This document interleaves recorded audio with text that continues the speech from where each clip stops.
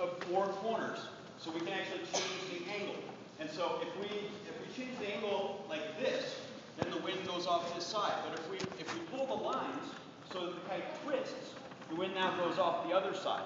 And then we can also twist it in the middle like a propeller. So that's how we're able to control it flat forward, backwards, or outdoors. We can even stop it and put it in your hand and take off with perfect control. Any, any other questions?